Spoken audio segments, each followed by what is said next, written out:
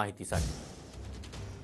तर मराठा आंदोलनाच्या पार्श्वभूमीवर आज परभणी जिल्हा बंदची हाक देण्यात आली आहे. सकल मराठा समाजाच्या बैठकीमध्ये हा निर्णय घेण्यात आला व्यापारी संघटनांनी या बंदला पाठिंबा दिलाय आणि या ठिकाणची दुकानं देखील बंद ठेवण्याचा निर्णय इथल्या व्यापाऱ्यांनी घेतलाय. परभणी जिल्ह्यात आज मराठा समाजाकडून बंदची परत एकदा हाक देण्यात आलेली आहे. कालही परभणी जिल्ह्यामध्ये अनेक ठिकाणी आंदोलनं झाली होती. खरं तर आज बंदची हाक देण्यात आली आहे आणि व्यापाऱ्यांनी देखील या बंदला खरं तर समर्थन दिलेलं आहे.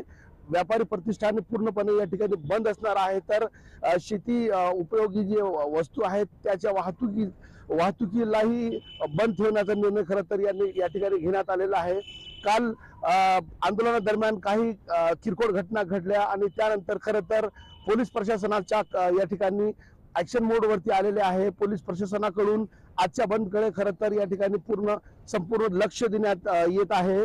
चोख बंदोबस्त असा ठेवण्यात आलेला आहे स्वतः जिल्हा पोलीस अधीक्षक राजसुधा आर या या पूर्ण आजच्या बंदकडे लक्ष देऊन राहणार आहे.